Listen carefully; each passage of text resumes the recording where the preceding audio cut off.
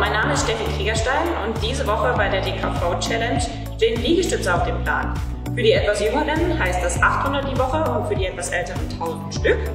Und ähm, ja, ich habe mich entschlossen, da mal mitzumachen und würde euch ein paar zeigen. Wichtig dabei, immer schön Kinder auf die Matte.